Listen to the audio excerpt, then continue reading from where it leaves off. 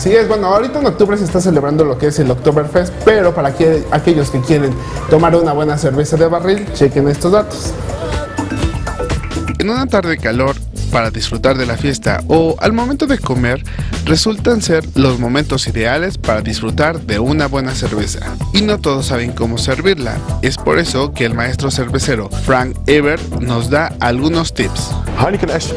Para tomar una Heineken fría adicional se debe poner un vaso extra frío bajo un ángulo de 45 grados.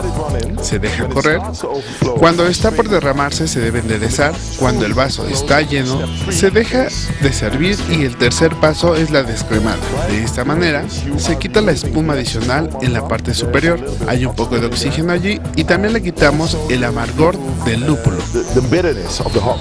¿Esa técnica aplica para todo tipo de cerveza? No para cualquier estilo de cerveza, pero para los estilos de lager 5% de alcohol, de color dorado y crujiente, sabor suave, este es el mejor ritual para tratarla.